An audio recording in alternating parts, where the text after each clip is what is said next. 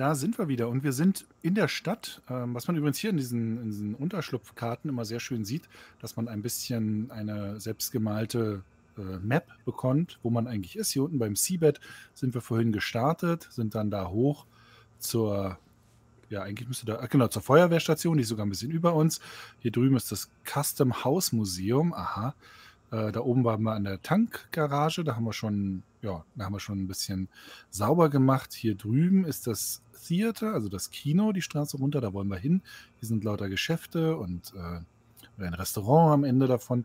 Also das, äh, das ist cool, dass das alles, das, ja, mhm. man fühlt sich gleich ein bisschen zu Hause. Und hier gibt es auch wieder ähm, eine Nebenmission, mit der man dann quasi an die Lieutenants rankommt, um den Schädel zu erhalten.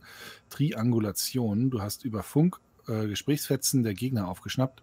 Du musst die Quelle ausfindig machen und ausschalten, sowie auch alle Gegner. Ich nehme die jetzt mal an. Mhm. Äh, das heißt nicht, dass wir danach nicht ähm, zum erstmal zum Kino gehen, aber dann haben wir diese zumindest angenommen. Ja. Jetzt aktiviere mal wieder die Kinomission. Das ist der Pausensnack. Kann ich gar nicht priorisieren. Wird einfach immer angezeigt. Aber ähm, dann kümmern wir uns erstmal um das Kino. Wo war jetzt das Kino? Genau. Wenn wir hier, hier raus sind auf die große Straße nach links, oder? Mhm, mhm. Ah ne, jetzt bin ich ins, in Richtung Custom House Museum gerannt. Das heißt äh, wahrscheinlich nach hier oben und dann nach links. Und direkt davon ist das Kino. Genau. Ah, ja, cool. Oh, Vorsicht, ist einer. Oh. Vampirschleimer. Ah, ja. Das ist echt peinlich.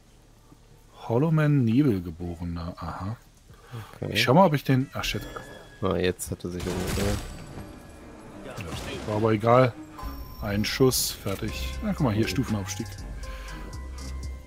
Ich habe meine finale Heldenfähigkeit freigeschaltet, das Schwarzlicht. Oh. Ähm, ah, ich, ich mächtige UV-Strahlen freizusetzen. Auseinander Fotoausrüstung, Waffen verwandelt UV-Glühbirnen, okay. Vampire zu versteinern und menschliche Gegner kurzzeitig zu blenden. Ah ja, das ist doch super. Mhm. Ach, guck mal, jetzt hier. Dafür ist das blaue Zeug. Schwarzlicht benötigt zur Wiederaufladung Zielrückstände, die von dem Vernichten von Vampiren aufgesammelt werden können. Manche Kultisten führen Rucksätze, Rucksäcke auch in äh, Gefäßen mit. Die Rückstände, so rum. Äh, bei einem Stufenaufstieg kannst du die Fähigkeitenpunkte ja, verbessern. Das ist das blaue Zeug, was aus den, aus den Gegnern rauskommt. Uh, okay.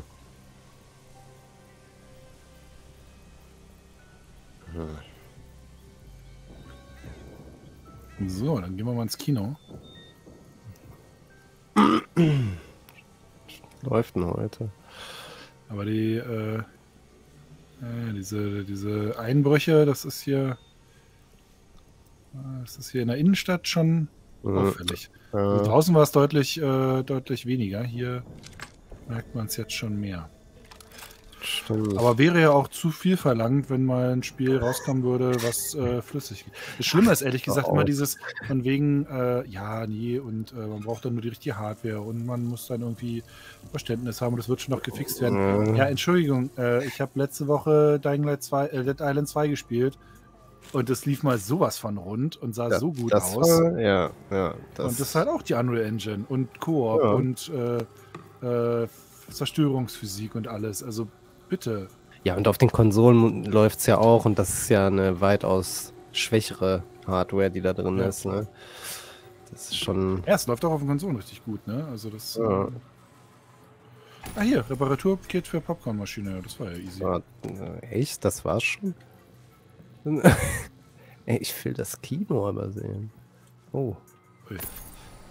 Oh, ich habe was. Overton, Gefrierschrankschlüssel. Das äh, ist ja das Kino hier. Hm. Oh, hier ist eine Grab, Grabblocken. Befinden sich in und dann schön. Ja. Ah, stimmt, davon gibt es insgesamt 100. Ähm, Ach so, Sammelobjekt, oder? Ja. Okay. Das wollte ich nicht. Es tut mir Okay, damit schaltet man irgendwie äh, Echos äh, der Vergangenheit frei von der oh. von dieser Frau. Oh, hier waren welche. Okay. Ach, das Theater ist richtig ein Theater, das ist kein Kino. Ah. Aber das sah doch von außen aus wie, wie ein Kino. Ja.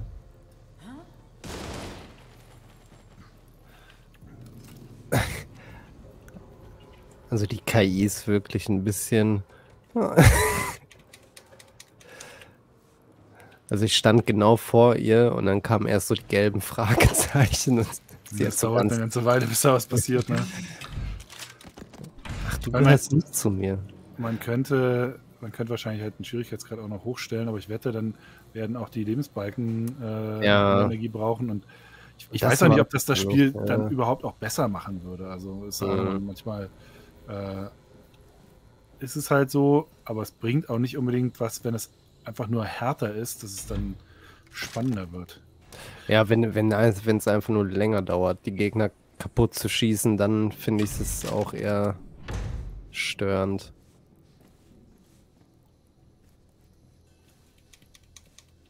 Okay, okay, okay. Aber das Loot-System ist echt ein Witz. Also dieses, ich finde jetzt, ich finde jetzt in jeder äh, äh, Box mehr oder weniger eine neue Waffe. Und ja, ja. Ich hätte schon keinen Bock nachzugucken, was, was da jetzt wohl los ist. Weil äh, ich schon weiß, dass die, die Grundtypen der Waffen im Grunde genommen ja alle schon, schon kenne. Auch dieses Ganze mit dem, dass ich verschiedene Wege in die Häuser rein habe und tralala, das, das kommt noch so aus ihrer Immersive Sim-Vergangenheit. Mhm. Und bringt hier irgendwie gar nichts. Nee, ne? Also auch so, auch so die Gegnerplatzierung ist irgendwie weiß auch nicht.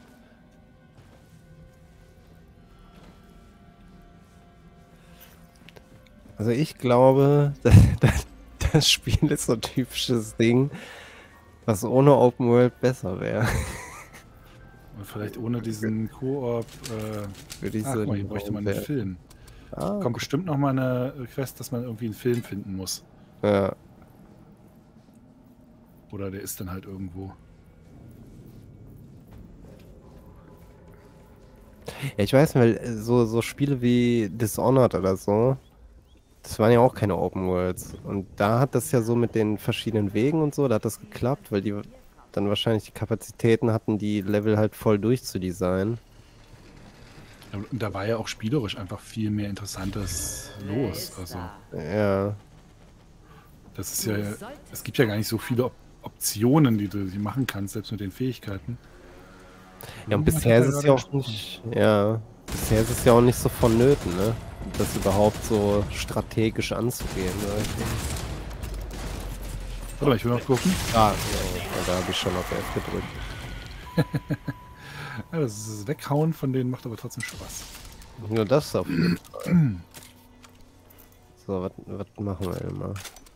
Sollen wir die Antennen hier machen? Die sind gerade fast neben uns, so gut wie. Ja, wenn du äh, äh, welches denn näher? Hier, guck mal, die ist eine 100 Meter, die in die Richtung. Kann man hier irgendwie... Oh, ich glaube, hier kommen wir nicht runter. Warte mal, hier... Aber, nicht. doch, doch, warte. Äh, ich kann uns ja einen Weg nach unten einfach bauen. Ja, ich bin, ich bin schon unten. ich konnte mich, ich, ich habe schon herausgefunden, dass man, wenn du gegen die Wand springst, dann buggst du dich so ein bisschen in die Texturen rein oder in die Hitbox ah, okay. und dann ja. verlierst du nicht so viel Leben. Jacob, mir ist aufgefallen, dass deine Augen Antenne, ja wahrscheinlich. Antenne wird wahrscheinlich auf dem Dach sein, ne? Ach ja, da oben. Zwei Augen, Crossley. Das genügt, um dir den Rücken zu decken. Und dafür bin ich dankbar. Aber ist das Heterochromie oder Anisokorie? Wie bei okay. David Bowie. Eine Kriegsverletzung. Guck mal, jetzt geht's um seine Augen.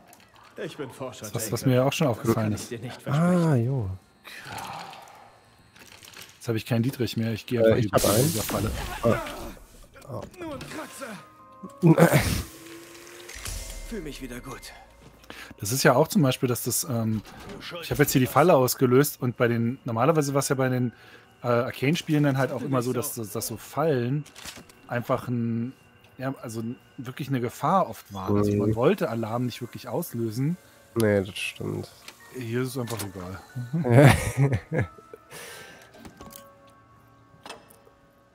okay, wir brauchen einen Weg aufs Dach. Aber. Aber wie, aber wo, aber was, aber wann? Äh, ich glaube, ich habe einen. Ja? Ah. Ah, da, ja. Genau. Hm.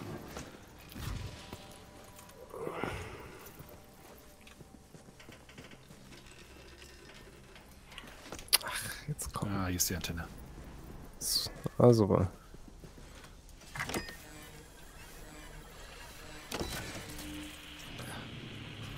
Jetzt mache ich mal probeweise, mache ich jetzt mal kurz, äh, äh, warte mal, Vollbild im Fenster.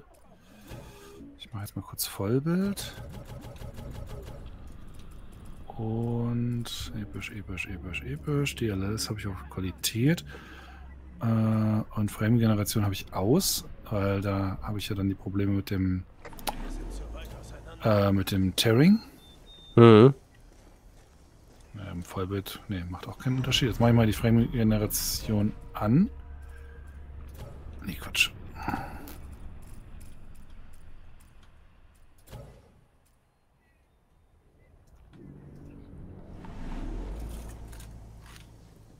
Ja, das ist halt schon krass, ne? Dann habe ich halt 100 FPS.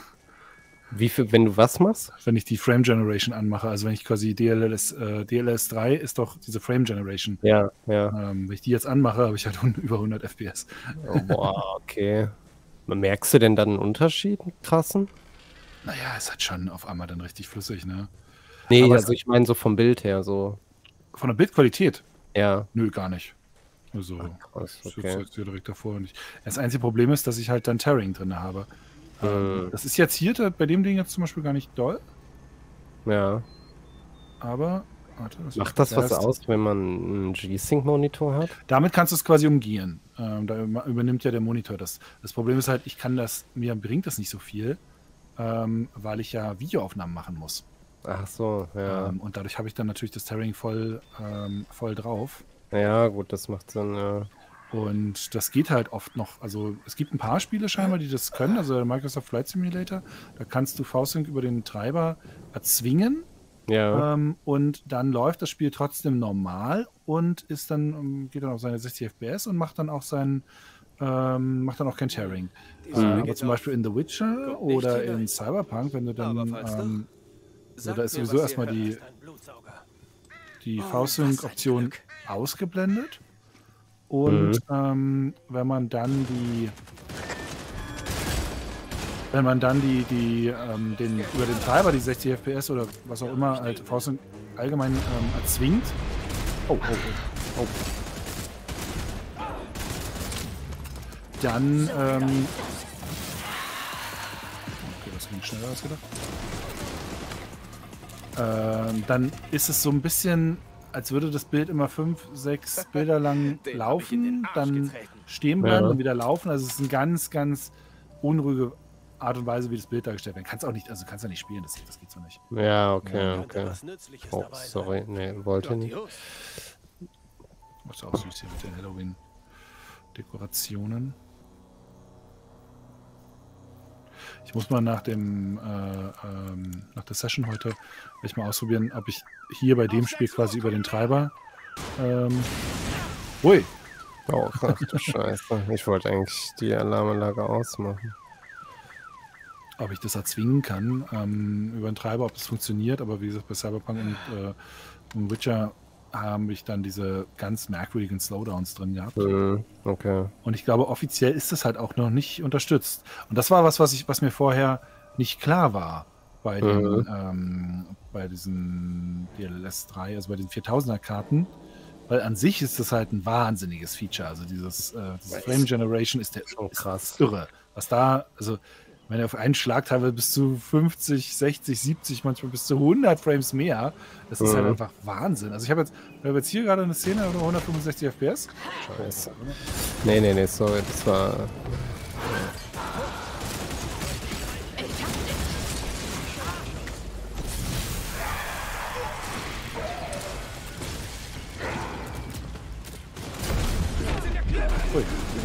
Oh, ja. So.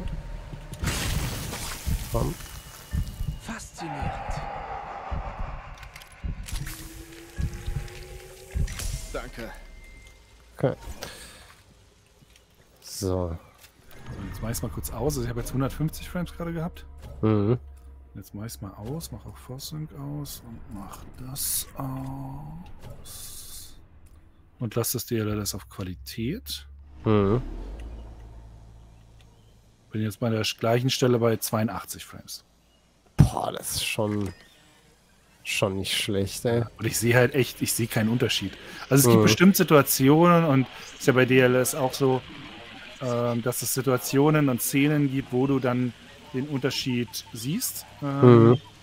Weil da vielleicht irgendwo merkwürdiges äh, Ghosting oder so mit drin ist, äh, ist oder weil Mhm. es vielleicht mit bestimmten Texturen nicht so gut klarkommt. Bei, bei, ähm, äh, bei Dings war das zum Beispiel so, bei, ähm, na, wie heißt's, äh, Dead Space.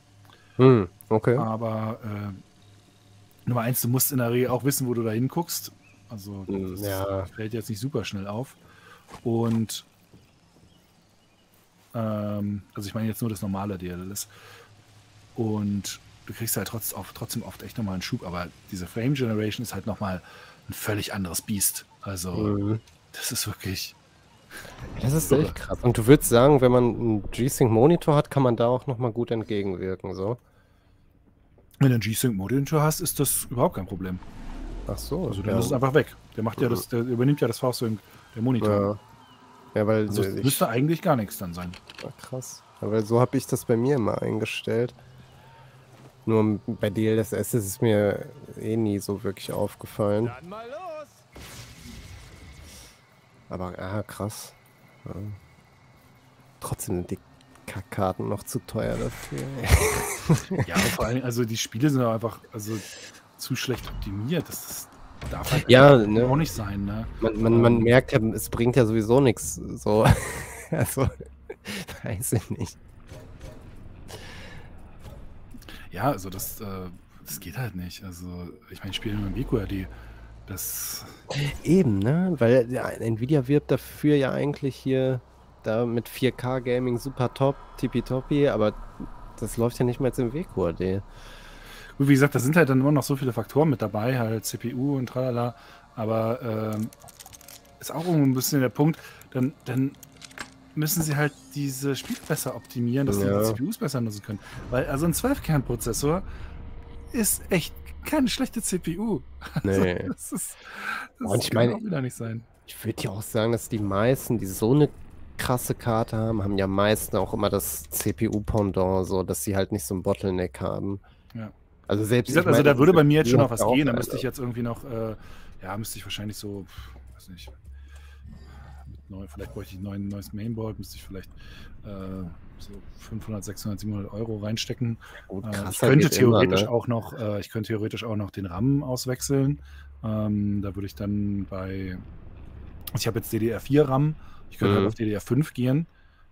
Aber ehrlich gesagt, so viel macht das dann auch nicht mehr. Nee, Also das sind homöopathische Unterschiede zum Teil. Das sind dann teilweise irgendwie so 2,7 Prozent Mhm. mehr, die du da Mhm. haben kannst. Das ist und das lässt halt auch mit niedrigeren Auflösungen, wo WQAD ja schon fast zuzählt, dann auch nach. Aber ich habe auch ehrlich gesagt keinen Bock jetzt noch einen 4K-Monitor zu kaufen, weil ach wofür? Ich sehe den Unterschied zwischen 4K und WQAD Nee, eh ich nicht. Ähm, Eben, ich finde bei einem kleinen, Pit also bei Fernsehern ja, aber bei Monitoren, die sind zu klein, dass der Effekt so krass wäre. Also zumindest, dass sich der Performance, die Performance-Einbußen dann lohnen würden. Also meiner Meinung nach zumindest. Also ich sehe das zumindest nicht so krass. ja, also geht mir ähnlich. Und außerdem läuft laufen die Games ja dann eh nicht in 4K. Das ja noch, kommt ja dazu. Also, Jetzt habe ich gerade mal, warte mal, jetzt habe ich mal zwei Stregas auf Level, ah nee, einer ist auf Level 5 und hat deshalb mehr und die andere ist auf Level, Level 4. Ach, ich habe da auch voll lange nicht mehr reingeguckt. Ich habe die ganze Kacke voll. Zumindest gibt es ja anscheinend kein begrenztes Inventar, das ist schon mal gut. Äh, doch, doch, der Rucksack ist begrenzt, also zumindest für die Echt? Waffen. 26 von 40 habe ich jetzt. Ach jo, ich sehe es gerade. Ja. Aber du kannst natürlich die, äh, du kannst ja jederzeit einfach im laufenden Spiel verkaufen. Ja, gut, das stimmt auch. Dann eigentlich ist es, ist es ja oben begrenzt, wenn man nicht faul ist. Ja, ja, also das ist nicht so wild. Warte mal, lass mich mal kurz gucken. Ich habe noch ein Upgrade. Ähm Verbündete in einem großen Umkreis von mir verfügen, fügen äh, Vampiren zusätzlichen, Za zusätzlichen Schaden zu. Na, dann das nehmen wir doch gerne gleich. So. Jetzt die Frage, wo müssen wir eigentlich hin? Ich weiß nicht. Pausensnack, repariere die Popcornmaschine, äh, deaktiviere den Ursprung des Signals.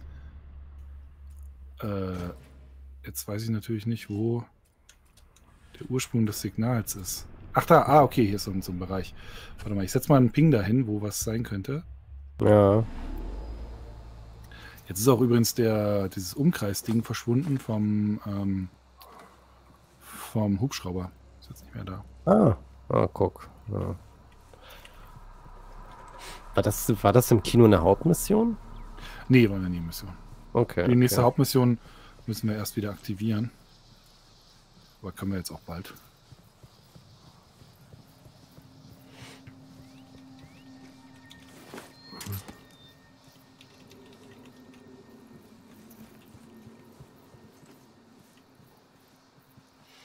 Müssen jetzt hier das Suchgebiet starten. So ein Vampir. Genialer Schuss. Oh. Es ist auch, es ist ja auch, also auch mit den, den, den Performance-Einbrüchen und so, ähm, das darf halt eigentlich auch nicht sein, weil in dieser Welt ist ja eigentlich fast gar nichts los. Also Nee. es sind fast keine interaktiven Objekte. Hier ist, äh, sind, ist keine KI, die irgendwie groß was macht. Es sind keine, ähm, Entschuldigung, das war ein äh, Rübser. Es sind keine ähm, so krassen Wettereffekte oder so ein Zeug. Äh, Ja, es gibt einen Tag-Nacht-Wechsel, okay, aber selbst der ist ja mit vorgebaktem Licht. Also das sind ja keine oder Ich hab- Global Illumination oder was auch immer das ist. Also ich habe zumindest das Gefühl, dass es auf, besonders auftritt, wenn, äh, wenn viele Lichtquellen da sind. Ja, ist ja so ein bisschen so ein Klassiker, ne? Äh, Also das kann durchaus sein. Also also weil gerade beim Kino hattest du ja ein paar von jeder Seite Ja. und da war schon übel. da ist halt, da muss ich halt auch sagen, ey, da, da freue ich mich auch wirklich drauf, wenn das dann in ein paar Jahren, sagen wir mal, sich, sich Path Tracing und diese ganzen Technologien wirklich Ja. langsam durchsetzen, ähm, weil das, das sind so globale Lösungen, Ja, da musst du dann nicht irgendwie einzelne Bereiche des Levels dann nochmal gucken, ob alles geprüft wird und nochmal. Noch. Also klar, du musst immer auch ein bisschen optimieren, so ist nicht. Mhm. Ähm, aber es sind, es ist trotzdem von, von, von der Grundlage her schon so ein wichtiger Schritt in die richtige Richtung. Das stimmt. Ja, ich hoffe auch, dass das alleine durch Gar nicht übel. äh, was ja auch bei der Unreal Engine ist, was du ja auch gesagt hast mit den mit diesem Editor, der ja super stark ist, weil der ähm, ganz viele Sachen alleine generieren kann. Also Ja. das sieht man ja auch in dieser Tech-Demo so. Dann sagst du, ah nee, ich will da doch keinen Berg, ich will eine ebene Fläche und dann zimmert der dir dann einen Dschungel hin. Du denkst dir, okay. Aber das ist ja was Gutes, wenn die, die Entwickler dann mehr Zeit haben für anderen Kram. Weil anscheinend Ja, haben sie ja zu wenig. So. Ja, offensichtlich.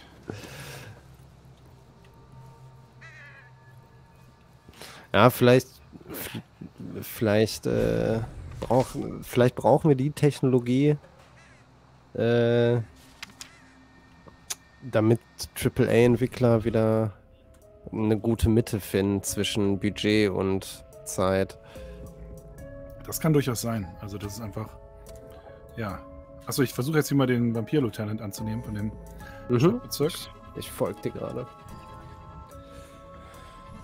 Das ist halt auch wieder Fundsachen. Was ist denn hier Fundsachen?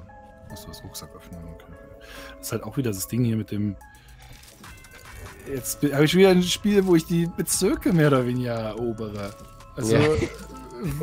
es ist 2023 und ich habe wieder eine Open World, in der ich Bezirke Ja. erobere. Aber du musst die Karte nicht aufdecken. Ja, das stimmt. Aber es ist halt schon ein bisschen so, ah, Leute, Ja, ja, ja. Das wie oft stimmt. äh, wollen wir das Spiel denn noch spielen? Ja gut, das ist halt, das ist halt Open World Content, ne? so, so, so, muss man halt so sagen. Ja, das ist schon ein bisschen, ein bisschen bitter. Brauchst du Munition? Ich sag's dir, das, das Spiel ohne Open World wäre besser gewesen. Ich bin mir echt sicher. Ja, aber auch da hätten sie sich ja irgendwie wahrscheinlich überlegen müssen, was, was machen wir denn nun Ja, in dem ja. Gebiet? Also was, was soll denn hier passieren? Ähm, und dann bräuchten sie halt wieder doch ein wahrscheinlich ein bisschen anderes Gameplay oder mehr, mehr Optionen im Gameplay und das wäre dann wahrscheinlich wieder Hm. schwierig. Ich finde nur alleine schon so von der Gegnerplatzierung und so merkt man halt, dass es halt irgendwie sich super random anfühlt. Ja, das stimmt, das stimmt. Komischerweise, also gerade jetzt hier im Ort selber finde ich wirklich auch gar kein Gefühl für den Ort. Ähm, das war bei dem, Ja. bei dem Ding anders. Ähm, ja. Vielleicht, weil man langsam merkt, wie die, wie die Open World funktioniert auch, weil an sich so, es sieht ja schön aus, so, ne? Mhm. Aber ist halt tot. aber, auch, aber auch hier, es sind eigentlich sind es auch hier schon wieder fast ein bisschen zu viele Häuser und äh, Gebäude und alles. Das war äh, ja, ich weiß auch nicht. Also so- Dead Island, vielleicht hat mich Dead Island jetzt gerade echt so krass geprägt, dass mir das so, dass das so ein cooler Sweet Spot war. Ist das Mhm. ein Museum oder wo ist der drin? Ja, ich glaube, der ist in diesem Museum drin. Ah, okay, cool.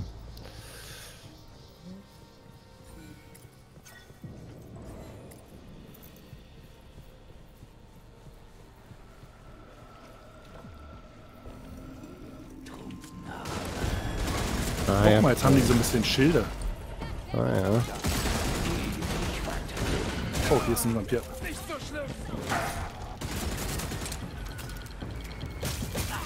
Ist der einfach verschwunden? Oder?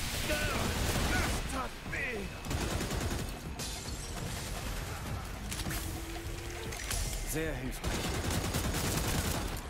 Ah, das scheint irgendwie ein Gerät oder irgendwas zu sein. Mhm.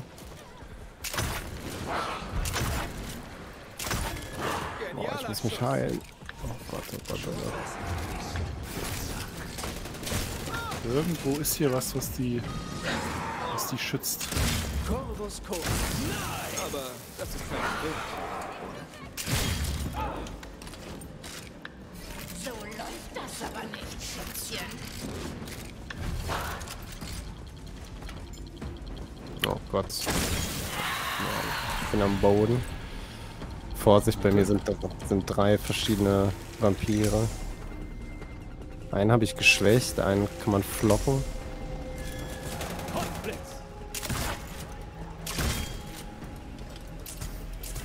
Ja, keine zu mir.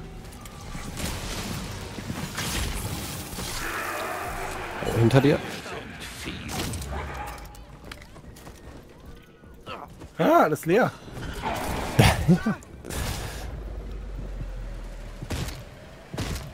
waren ein paar jetzt.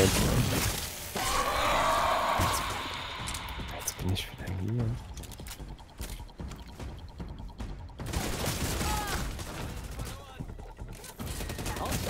Ich komme.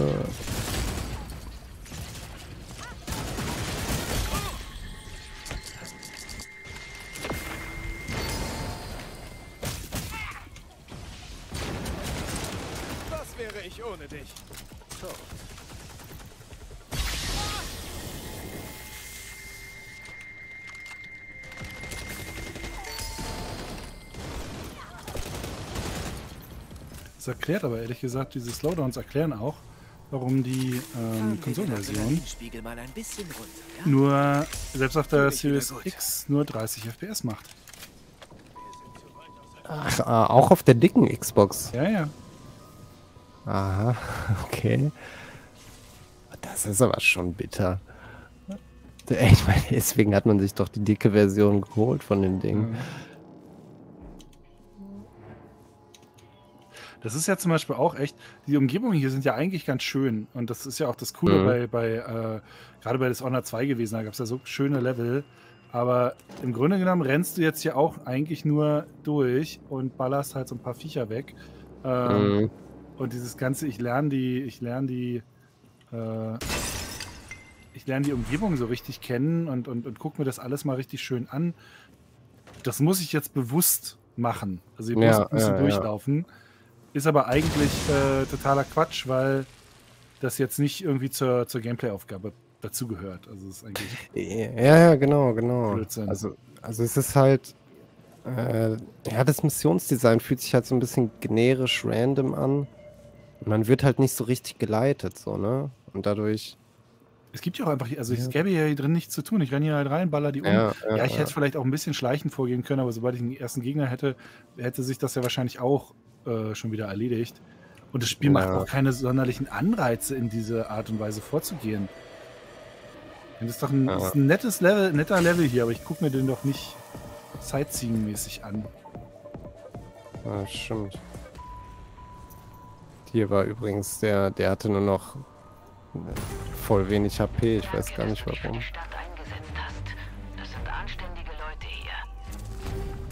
Ist das nicht derselbe Funkspruch? Ich Ja. den zurück in, äh, ins, äh, Ein Unterschlupf.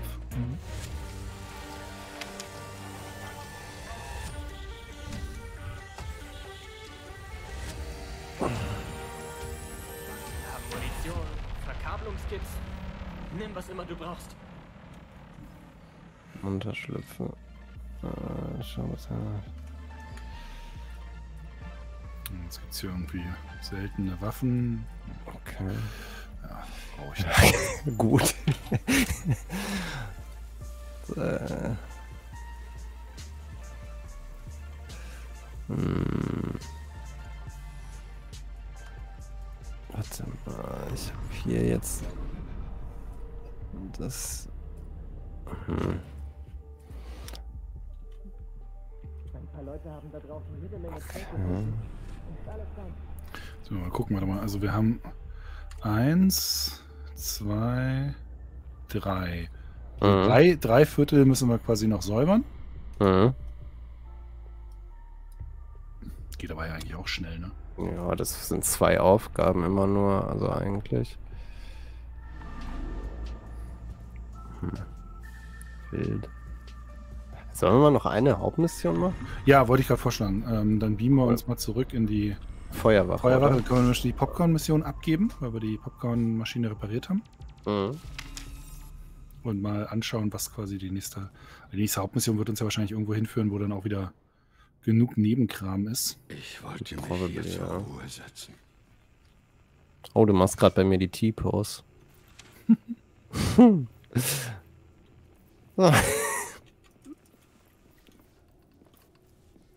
oh, das So, nehme ich dir äh, auf. Das sieht, das sieht richtig lustig aus.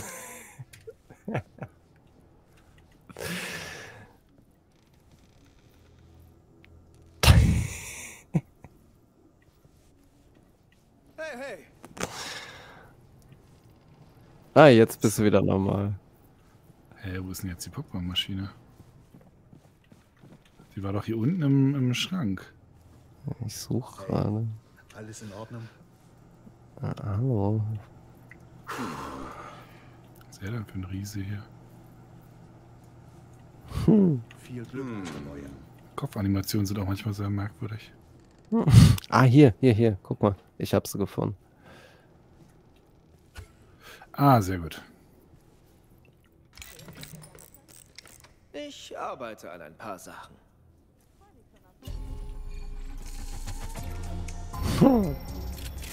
Das ist süß. das ist echt cool.